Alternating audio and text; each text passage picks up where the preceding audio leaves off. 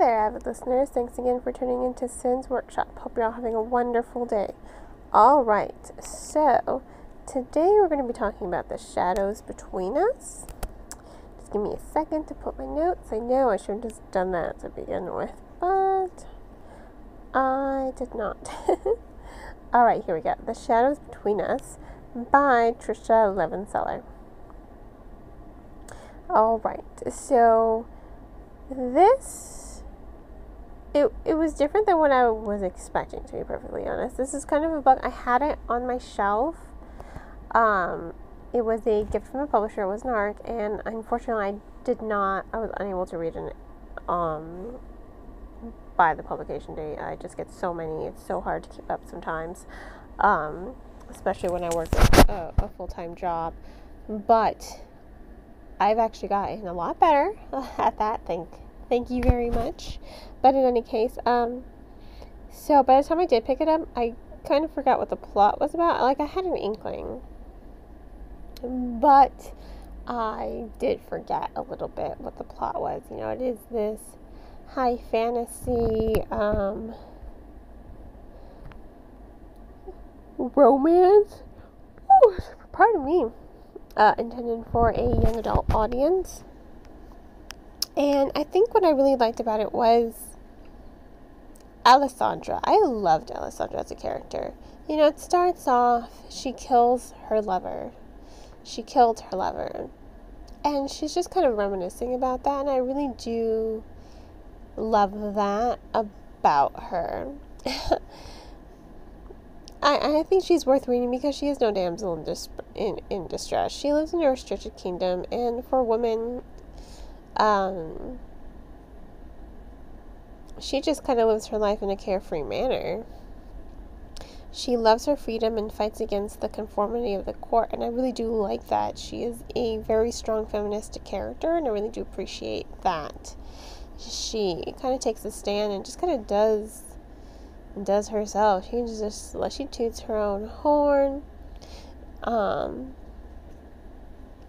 and I do think that she is a compelling narrator.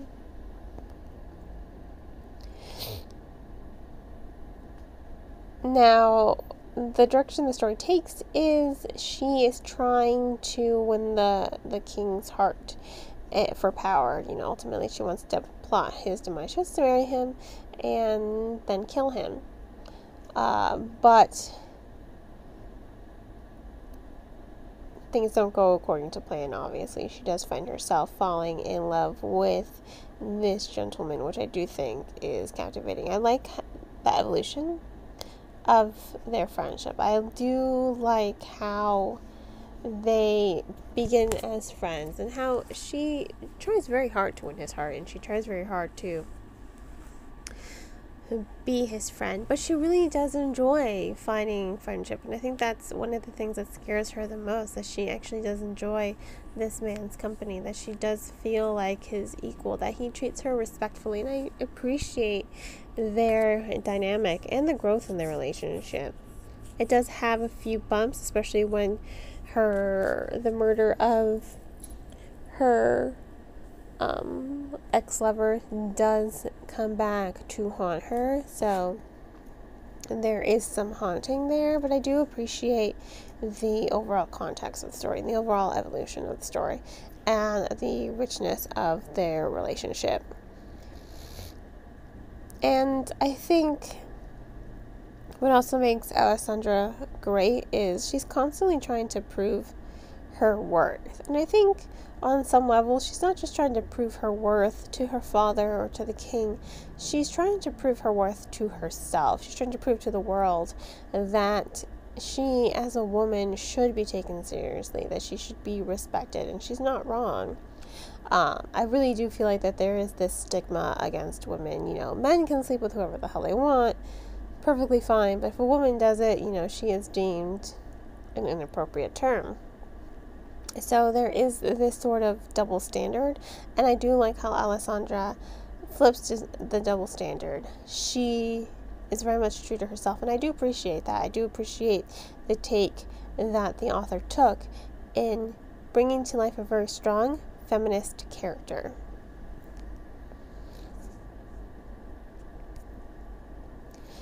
And that was something I really did like. Now,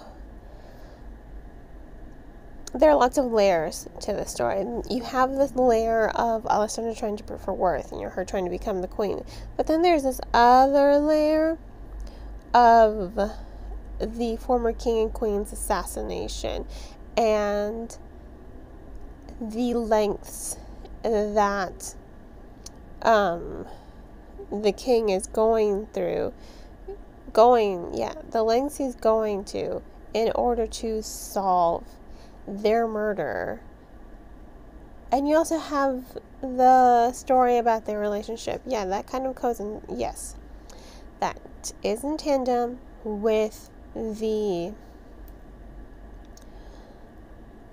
um, first layer of the story of her trying to win the king's heart, but this one's more character driven, and it is, pardon me, um, it's character driven, it is engaging, and I'm all here for it because it really, Alessandra, I think, has a great voice. She goes through a lot of development throughout the story, and that is something that makes her engaging.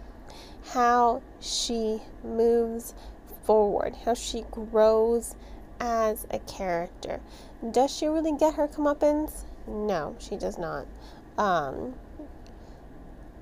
but you don't really want her to. Her past comes back to find her, sure, but she doesn't let it deter her from trying to live her dream or trying to win the king's heart. And he's kind of okay with it as well, especially when she tells him the story. Because here's the thing she's. Her and the king made the promise never to lie to each other, and they do it. And I think that's great for any relationship to really flourish and um, grow. You can't lie to one another, and she doesn't. And I really do think that that is what makes her and their relationship really great. She's going to become queen. She's going to change the court. And she's already changing the court. She's trying to help other female characters be true to themselves. She's trying to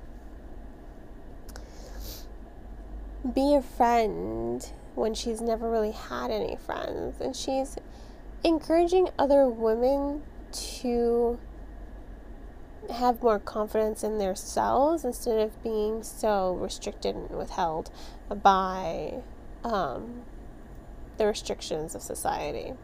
So, that is something I thought was really, really cool about this novel.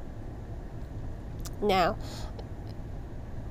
ultimately, I enjoyed this book. I really did it was an unexpected delight. Um, I thought when I was reading it, it would be something else entirely, but I found myself incredibly engaged with the story.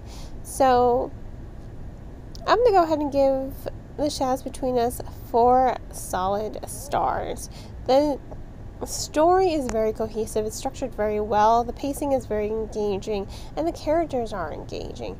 You lose yourself in the story, and I really do like how you lose yourself in the story. And I like how the layers of the story intermingle and breathe life into one another.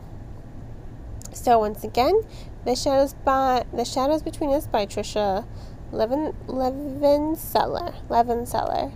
I'm gonna go ahead and give it four stars. You can go ahead and purchase the book off of bookshop.org. If money's tight, please check it out from your local library. I hope you all have a great rest of your day. Please do not forget to support me by liking this podcast and sharing it with all your friends. And as always, happy reading.